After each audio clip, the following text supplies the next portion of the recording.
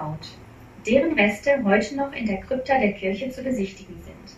Die Kaiserin Theophanu, Gemahlin Kaisers Otto II., starb bereits in jungen Jahren, vermutlich kaum älter als 31, und wurde nach ihrem Wunsch in St. Pantaleon bestattet